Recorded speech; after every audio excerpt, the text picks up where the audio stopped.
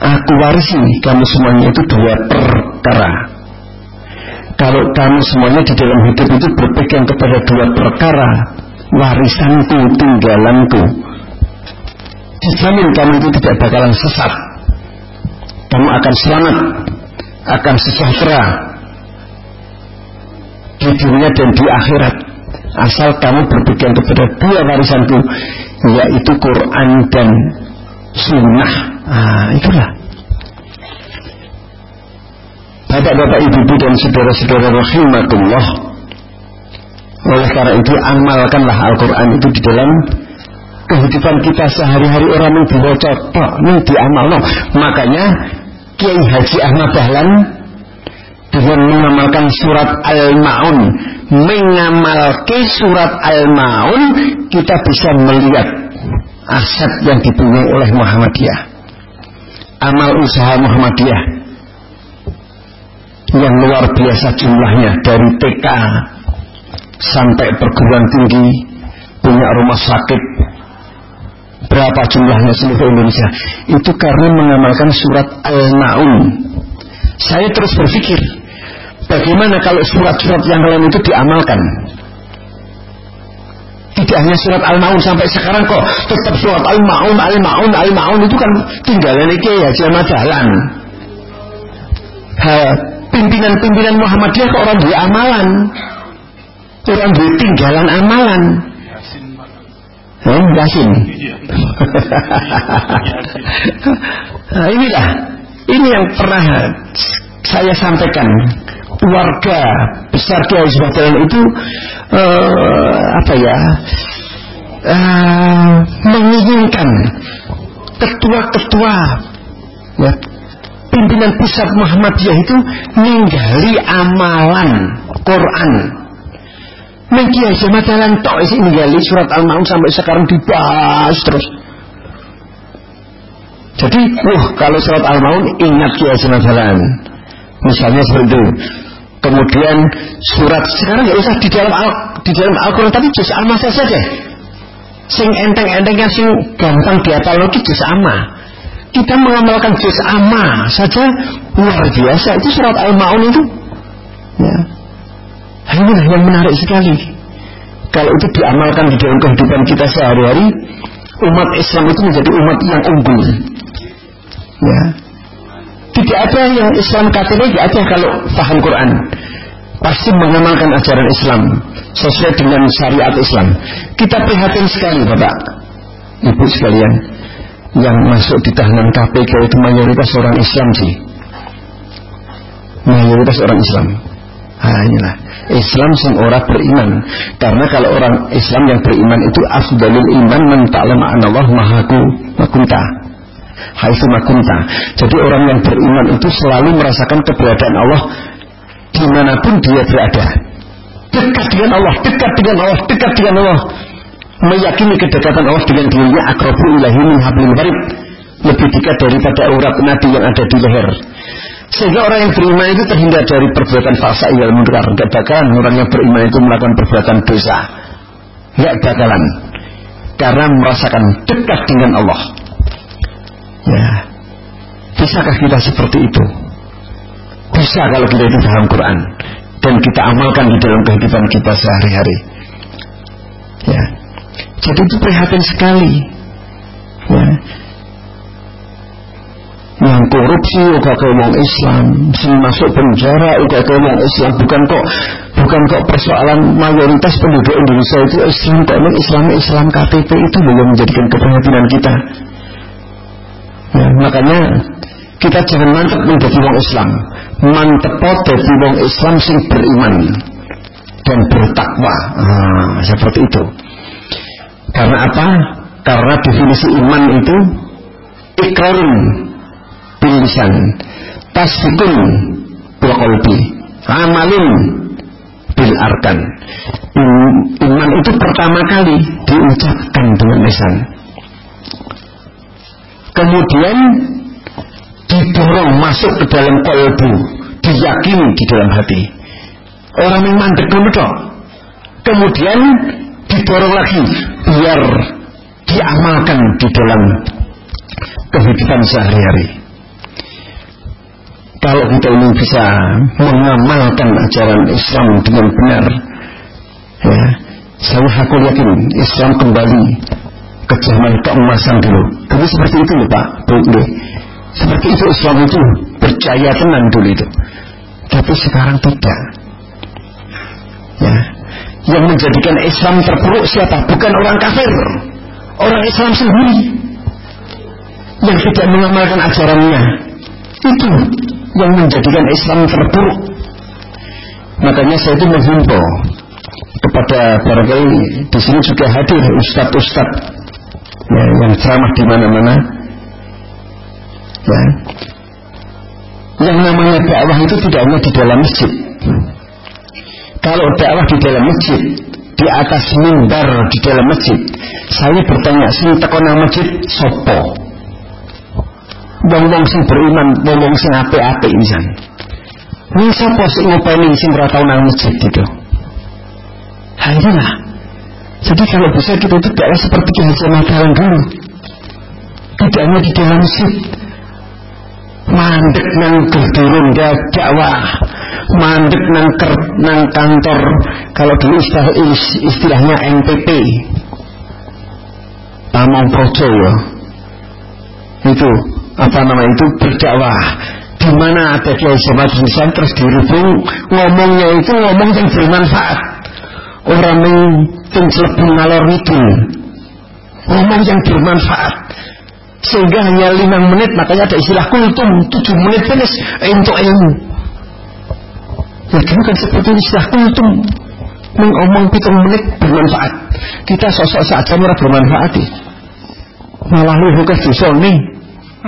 Ngerasani ngalor ngidul iya Bapak Ibu dan Saudara Rahmatullah ya ini jadi saya jadi kepikiran lagi saya belum selesai tadi menjelaskannya kaitannya dengan kota Mekah ya. Kenapa kok Mekah itu ketimpa musibah bertubi-tubi? Dari badai kering. ambruk tabrakan. Nek tabrakan mobil karo mobil banyak korban maklum. Ning sing tabrakan ki wong mlaku e. tabrakan wong mlaku karo wong mlaku bermati kenapa kok terjadi seperti itu? Ini barangkali jeweran Allah kepada Raja Mekah yang sudah tergiur dengan yang namanya duit. Duit itu menangan Inna darahina fil amakin kulha taksuru jalan mahabata wa jalalan. Waya lisanu liman arda fasahata Waya silahun liman arda qintala Itu ya di dalam syair itu bukan hadis Tapi syair orang Arab. Pepatah orang Arab. Duit itu menangan. Ya segala-galanya duit itu. Orang yang mau ngurus sesuatu, ngurus apa pun masuk di dalam kantor, orang iso ngomong gelagepan, nganggo duit itu lancar kok. Bener nggih Pak nggih? Lancar, ora iso ngomong gelagep-gelagep. Namanya amplop mulai lancar, wis rampung urusane. Ya, kemudian orang mau maju perang, nek orang bawa duit, kalah ngurus nggak bisa beli senjata, apa tangan kosong apa menyanggu batu bayang. Tapi nek duwe duit bisa tuku macam-macam pedang iso celurit iso pistol iso jadi duit itu menang ya inilah. Ya, oleh karena itu monggo bapak ibu dan saudara rahimakumullah janganlah kita itu tergiur dengan yang namanya duit harta itu hanya sebagai sarana. Ya perlu penting. Tapi hanya sebagai sarana. Jangan dimasukkan di dalam hati duit harta itu. Kalau dimasukkan di dalam hati nah, kita bisa terjebak dengan ajakan setan itu. Sehingga al-hakumut takasur hatta yurtumul maqabir ya. disibukkan dengan hitung-hitung harta terus sampai masuk ke kubur. Baru mandek segalanya. Makanya Nabi kan mengatakan ya Nabi mengatakan yang namanya perlombaan apa pun itu ada start ada finish perlombaan rally, rally, balapan motor, balapan mobil, start finish, start finish. Tapi yang namanya perlombaan mencari harta, mencari kekayaan itu ada start ning orano finish. Finish kapan itu?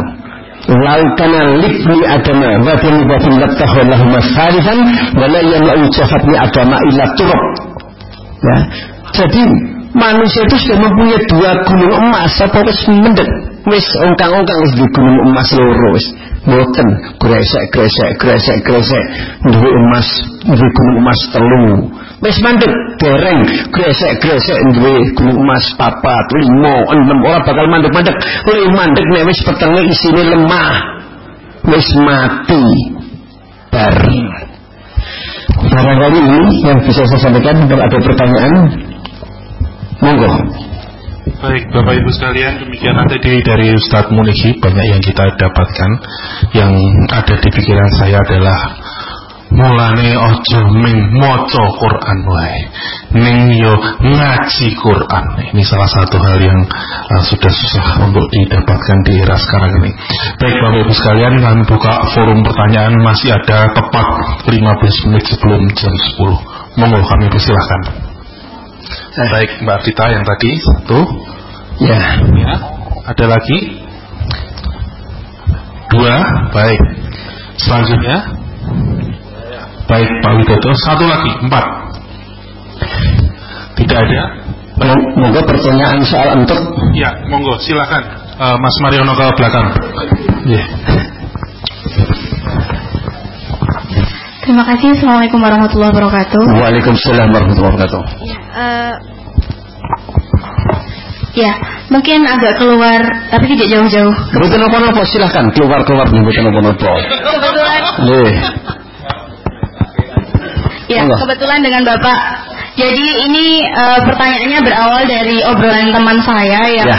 dia itu uh, ikut kajian Ma'iyah dan kemudian pernah dalam satu sesi bapak yang hadir di sana ya. dan uh, beliau dia memberikan satu kesan bahwa wah sing Muhammadiyah tenanan ki sing disampaikan karo Pak Munici seperti itu. Ya. Nah, uh, saya belum sempat uh, menanyakan apa yang yang uh, inti yang disampaikan, tapi mungkin Bapak bisa sharing di sini spesifiknya yang Bapak sampaikan di forum ayah itu apa tentang Muhammadiyah seperti itu. Terima kasih Pak. Assalamualaikum. Ya. Salam. Baik Mas Mariono ke tengah. Ya. Assalamualaikum warahmatullahi wabarakatuh. Assalamualaikum. Waalaikumsalam. Uh, sebagaimana disampaikan tadi bahwasanya kebenaran itu adalah dari Allah. Uh, kemudian juga kita selalu mencari kebenaran Ya. Terus karena itu eh, sikap kita terhadap Al-Quran adalah juga bersikap yang benar. Ya. Allah juga memerintahkan bahwasanya Quran itu mestinya itu harus dipelajari, dikaji ayat-ayatnya ya. agar kita menjadi lebih tahu ya, okay. untuk kita orang-orang yang berakal. Ya. Karena itu uh, kami hanya apa ya mempunyai harapan agar memang diadakan uh, kajian terutama ya surat-surat dalam juz nama itu yang pendek yang biasa kita gunakan untuk bacaan sholat agar sholat kita bisa khusyuk Demikian, terima kasih. Wassalamualaikum warahmatullahi wabarakatuh. Wassalamualaikum. Baik, terima kasih atas saran dan masukannya, Pak Ya, sebenarnya musibah-musibah di Indonesia baik itu asap maupun panjang. Uh, bahkan ini ada kaitan dengan azab Allah uh, karena PP Muhammadiyah juga saya tunggu-tunggu nggak ada Betul. memaklumatkan sholat istiqomah. Iya, iya, iya, saya juga, iya. Di mana-mana ya, ya, ya, ya, apa itu kaitannya itu yang pertama. yang kedua, kalau boleh, uh, kita melihat Menteri Keagama kurang apa tuh? Menteri kurang agama. Menteri agama kan wah betul Al-Quran dan bertakwa hmm. karena syarat jadi pejabat itu harus bertakwa peraturan yang bisa syaratnya itu ya. nah, ini kenapa di penjara saja terima kasih ya, ya. Ya, baik. Yang pertama dulu Ustaz. Ini mungkin dari bapak-bapak, ibu-ibu sekalian ada yang belum tahu maksudnya ma'iyah itu seperti apa. Jadi kalau bapak ibu sekalian, salah satu budayawan di Yogyakarta yaitu MH Ainun Najib atau Cak Nun itu biasanya setiap malam 17 Hijriah setiap bulannya 17 Hijriah uh, Hijriah ya Ustaz enggak. Atau enggak. Masehi? Masehi ya. Masehi ya. Hmm. itu selalu mengadakan pengajian padang bulan atau pengajian mayan di rumahnya di Bantul. Daerah kasihan Bantul ya. Itu biasanya dari jam oh malah promosi ya dari jam 8 malam sampai nanti larut uh, pagi gitu ya. Nah salah satu pada waktu itu saya juga sempat uh, lihat Pak Munihi tapi ya karena Novel uh, ganti-ganti channel juga gitu ya. Saya lihat uh, salah satu forum di situ Pak Munihi sebagai pembicara di Ma'iyah tersebut. Jadi dia ada Cak Nun. Kemudian kalau Bapak Ibu lihat tiap Kamis malam di Adi TV ya ada Cak Nun, ada pembicara satu dua tiga. Kemudian nanti setelah itu ada seling-selingan uh, sholawat dan berbagai macam lagu lainnya lain ditanyakan ini menarik sekali lah. Kudune Muhammadiyah sing menang. Iya sing kaya Pak Munihi pas ngomong ning mayahan iki. Nah ini mungkin bisa disampaikan Pak Munihi. Pak Munihi berbicara apa di forum mayahan tersebut yang konon katanya kontroversial di tengah warga Muhammadiyah? Monggo Pak Munihi silahkan iya. Jadi begini saya memang menghimbau yang saya hakul yakin gak bakalan dilakukan oleh bapak-bapak Muhammadiyah yang sekarang. Ketika ada eh, musyawarah nasional MUIN di Jakarta yang mewakili Muhammadiyah Buya Hamka dengan Idam Khalid. Eh, Idam Khalid. Itu kok bisa? Ketika Kiai apa namanya itu Buya Hamka disuruh menjadi imam sholat subuh ya. Tahu jamaahnya banyak orang NU Buya Hamka pakai kunut. Ketika giliran Idham Khalid yang orang NU disuruh mengimami sholat subuh Idham Khalid tidak pakai kunut. Nah, itu kan menarik. Orang bakal Muhammad biasa Imunawi ya. Saya terakhir mendengar seperti itu Pak Amin Rais. Ketika mengisi kuliah subuh di Jawa Barat di Bandung atau di mana tanya. Di sini biasanya subuhnya pakai kunut enggak? Pakai. Mengimami subuh pakai kunut. Pak Amin Rais waktu menjadi ketua PP Muhammadiyah. Ini kan sesuatu yang menarik. Itu bukan kok terus anti. Kemudian yang menarik lagi jangan sampai ya ini yang memperhatikan Muhammadiyah ini anti surat Yasin. Padahal surat Yasin itu salah satu juga firman Allah kedudukannya sama. Di Al-Quran. Ini seakan-akan wes ning bejo nek ngaji orang dilimpati terus mau surat yasin jangan sampai seperti itu deh. Nih. jadi itulah yang menjadikan keprihatinan kita semuanya. Kemudian kalau saya tadi yang kaitannya dengan Kiai Haji Mabelan, Kiai Haji Mabelan itu seorang tokoh masyarakat, seorang ulama besar, tidak hanya pandai memberikan nasihat kepada masyarakat kepada orang lain, tapi beliau itu pandai memberikan nasihat kepada dirinya sendiri dan keluarganya. Jadi bukan model NATO, no action to only. Ya, ngomong tok, mengrato diamalki. Okay. jawabannya tidak seperti itu. Makanya di di bornya di dalam kamar tidurnya itu ditulis Ya Dahlan innal haula a'zamu wal umru mufti'atu maka wala bujalaka min musyahadati zalika imma bin najati wa imma bil adabi Ya Dahlan qadfir nafsaka fil alami wahdaka Allah wa baina yadayka al maut wal ard wal hisab wal jannah wa tamal fima yatnika mimma baina yadayka ma Ya. ya. Jadi dikatakan bahwa Ya dahlan, sesungguhnya apa-apa yang ada di depanmu itu bahaya yang mengancam dirimu. Mungkin kamu selamat, mungkin kamu celaka. Ya. Kalau kamu selamat masuk surga, kalau kamu celaka masuk neraka. Oleh karena itu perhatikan dahlan. Fokus kepada apa yang ada di depanmu, tinggalkanlah yang lain. Yang ada di depan kita semuanya itu maut, Pak. Ya. Sehingga kalau orang itu eling mati mesti istiqomah, Pak. Orang bakal niko-niko. Ya. Selanjutnya Ustaz. Ya. Jadi saran untuk panitia ya tentang bagaimana kalau diadakan kajian bersama. Langsung ke ketiga, ini apakah musibah yang ada di Indonesia ya. ini juga merupakan azab Allah? Singkat Ustaz. Ya. Dan saya sekaligus kenapa kok bisa seorang menteri agama bisa masuk penjara? Karena manusia. Eh, gini, gini. Innal insan ansal wal Manusia itu tempatnya lupa dan salah. Bapak Ibu rahimahullah kita tahu setan itu adu mungkin musuh yang nyata bagi kita. Tapi perlu nggak kita itu nyuntut setan? Perlu kita contoh kesabarannya. Sabar. Setan itu menggoda.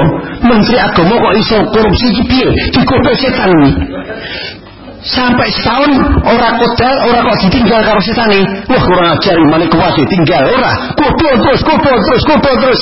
Akhirnya ambasan tahun ketiga barangkali terus korupsi. Wah setannya senang banget. Jadi setan itu menggoda manusia itu sampai terjerumus jalannya ya ada saja sebagai contoh kita tahu nggak Adam sampai makan daun holding itu karena yang kedua siapa? Setan nih, setan ini orang bodoh Adam, bodoh Adam, orang kodal seorang nabi digoda. Ning melalui istrinya, melalui istrinya. Saya sing digoda bojone terus, bojone terus, bojone merengek-rengek karo Adam. Sehingga ternyata seorang wanita itu lebih setan daripada setan. Nah, itu buktinya. Buktinya itu setan bodoh Adam rakodal Neng Adam digodha bojone kodal. Nah, ini loh. Makanya bahwa ibu-ibu itu harus jangan seperti setan loh. Gitu.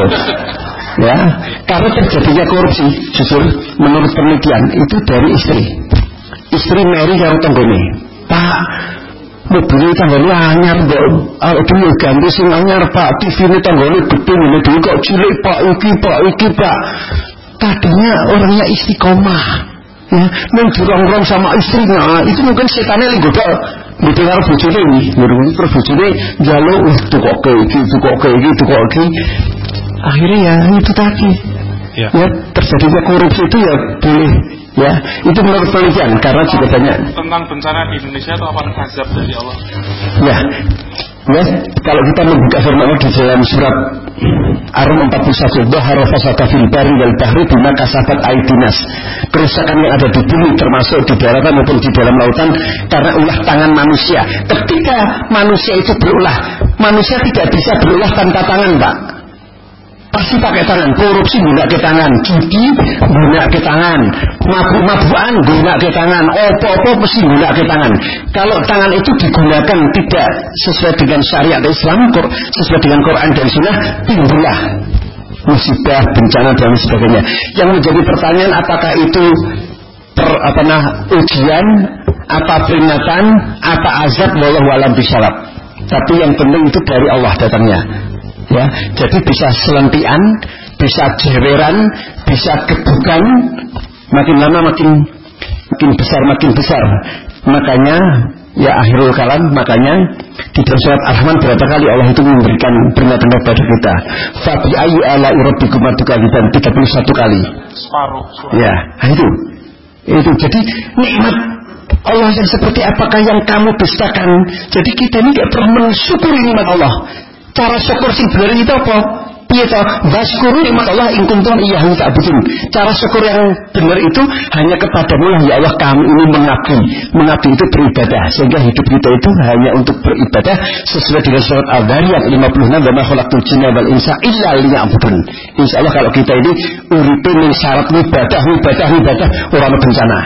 Demikian. Ya. Wah, saya kisah kaitannya dengan itu Bukan, jadi begini, jangan sampai Muhammadiyah itu orang anak kayak istisqa, jangan sampai kita ini negatif thinking dah. Terus wah, wah bid'ah ya ora. Enggak. Kalau saya beberapa kali ya ketika, ketika umroh di Mekah itu ketika sholat istiqo berambung langsung udan nih. Saya sudah menghimbau pada masjid Gede Kauman, masjid Gede Kauman itu sebagai barometer masjid ya untuk menyelenggarakan salat istisqa. Begitu. Ya, jadi.